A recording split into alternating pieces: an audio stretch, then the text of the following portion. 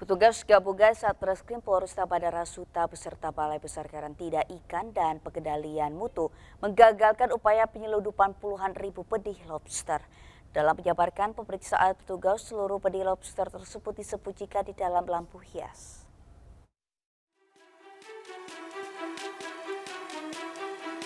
Tiga pelaku penyelundupan benih lobster berinisial RH S, serta EDS diamankan petugas Satuan Reserse Kriminal Polresta Bandara Suta yang bekerjasama dengan Balai Besar Karantina Ikan dan Pengendalian Mutu.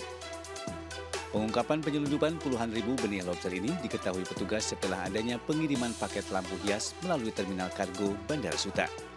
Setelah dilakukan pemeriksaan mendalam dan melewati X-ray, didapati ada 34 ribu benih lobster jenis pasir dan mutiara disembunyikan di dalam paket lampu hias yang akan dikirim ke Singapura.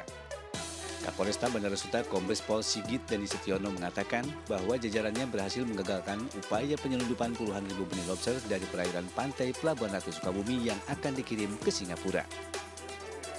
Jadi dalam pengungkapan penyelundupan uh, benih lobster ini, kita berhasil menyelamatkan kurang lebih 34 ribu jenis uh, pasir dan mutiara dan kurang lebih kalau dikonversi adalah sekitar 3,9 miliar rupiah.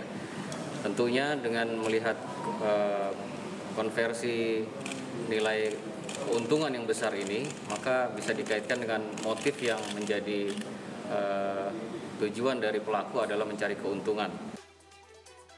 Untuk mempertanggungjawabkan perbuatannya, para pelaku terancam Undang-Undang Perikanan dengan ancaman hukuman pidana penjara selama enam tahun dan denda sebesar 3 miliar rupiah.